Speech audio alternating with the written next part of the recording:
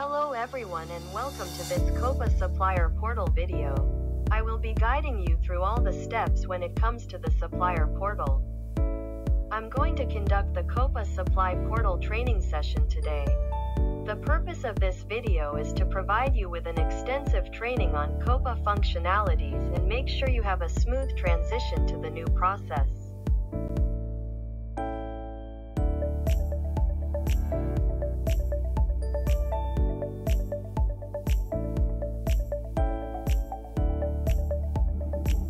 So to get things started, you will receive an email from your customer about Coupa.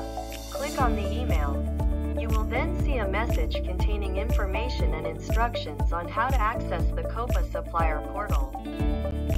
With the email invite submitted by ESAG, you can begin the registration and onboarding process by clicking on the Join Coupa Supplier Portal button. Please note that your CSP account is based on a specific email address.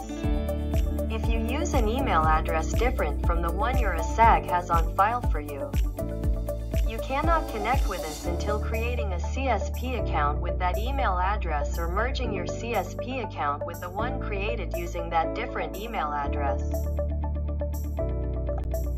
After clicking on Join and Response option, wait for the page to load up. You will need to provide basic company information. Business name and email will be auto-populated. Business name is editable you can change it in this stage. Enter first and last name of the company's primary contact person. Enter and confirm your password. This will be used to log in into CSP. Then select country, region from the drop-down. Enter your tax registration number. However, if you do not have a tax registration number, then tick the checkbox and provide the reason. Tick the checkbox, I accept the privacy policy and terms of use. Click on privacy policy and terms of use to access the details. Finally, click on create an account to complete registration and access the Coupa supplier portal. You will receive a verification code in your email. Simply enter the verification code and click on Next. Fill out your company primary address information with the correct details. Enter your country region selected from the list. Then, enter your address line 1. And there's an address line 2 if required. Enter your city, add your state, and finally enter your postal code. Then click on Next. Note, all red asterisk fields are mandatory fields. A new page will open and will ask you to fill out your payment information. Enter the payment method and email address you would like to use. Then click on Next. Fill out your bank details. Enter your payment method name. Enter your bank account country or region. Add bank account currency. Then add other optional fields. Click on Next once you are done. So for this part please fill out your correct address with the red asterisk fields next to it. Such as your payment method, street 1, city, state, postal code, then click on next. Once you have completed this setup, then you will be able to access the supplier creation form.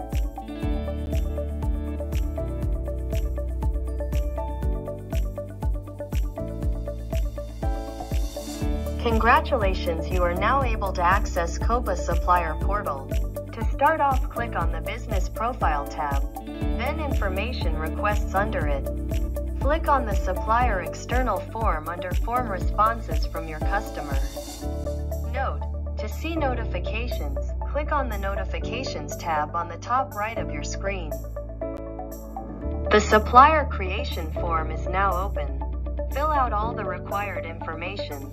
Before you begin you must click on I accept the above from the General Company Information Statement. 1. Company name is picked from request form but it's editable for you to update it if required. 2. Select goods or services from drop-down list. 3.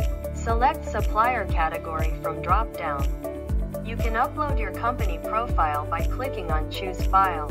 Note, all red asterisk fields are mandatory.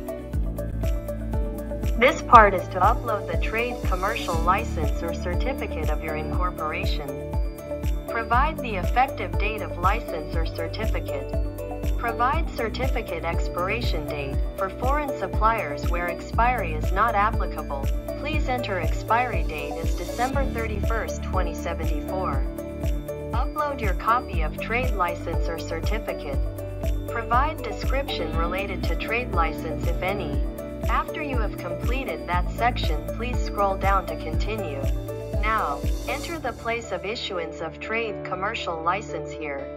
Enter trade license company registration number. Now we are going to fill out the office detail as per trade license. Some fields will have already been pre-populated. Select the country or region from the drop-down list. Select region from the drop-down. Please enter your complete address in street address field. Enter the city, then provide your postal code. Scroll down and select the trade zone. This differs when you choose the different options. For this case click on United Arab Emirates. Then a drop-down will appear to select from. Use HTTPS URL in the website field.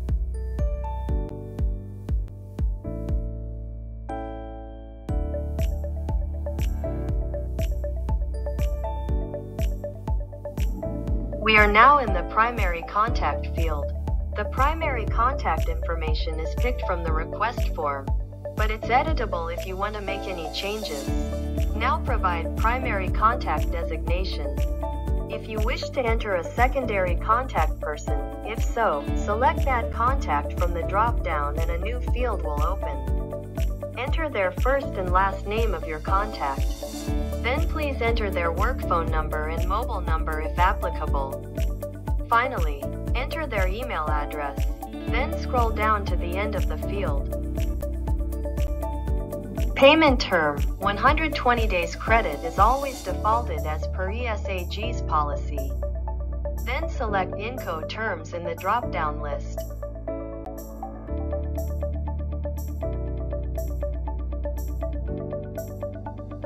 To begin the steps of bank information, start off by clicking on Add Remit to to add your banking details. Click on Add Payment Method to add a new one and select Bank Transfer. A new page will be opened to continue with the creation of payment methods. Please refer back to the video clip during Coupa supplier onboarding titled CSP Onboarding. To use existing payment method, which was created during the CSP profile registration, tick the checkbox next to your bank information. Then click on Add Selected button. Scroll down. And now enter your bank information. Tick the checkbox of I accept. Select Payment Mode Form drop-down. Select Bank Country. And finally select your bank name. After that is complete, Scroll down to the next field and continue entering your bank information as follows. Some fields will already be populated, so there is no need to add unless you need to edit them. Then upload the bank document template and fill the information out signed and stamped by authorized signatory. Once that is complete attach it below. For the Value Added Tax and Information section, if you click on Yes under Is your company VAT registered? Then the VAT registration number and tax registration certificate is mandatory. However, if you click on No, then the VAT registration number and tax registration certificate is not required only the last option. Which is the reason for not being VAT registered is mandatory to fill out. Enter your in-country value ICV certificate. Enter effective date of certificate. Enter certificate expiry date. Attach a copy of your ICV certificate. Enter the description if any related to ICV certificate. Then scroll down and upload your authorized economic certificate. Now, quality management certificate. Enter effective date of certificate. Enter certificate expiry date. Attach your quality management certificate. Enter the description if any related to your quality management certificate. Upload other certificate documents if any.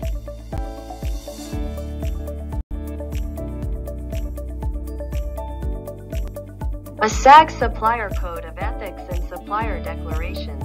Please download the template below for the Supplier Code of Ethics in case of amendment requests. Then check the box under I accept the attached ESAG Code of Ethics. Attach your Code of Ethics if you do not accept ESAG's Code of Ethics or have any amendments here. Scroll down to the Personal Data Protection Law. Download the template and once it is reviewed check the box under I accept the attached Personal Data Protection Law clause. If you reject it, please provide your reason here. Then scroll down to Know Your Supplier. Please download and fill out the relevant templates. Note, please do not edit the part under for ESAG use only.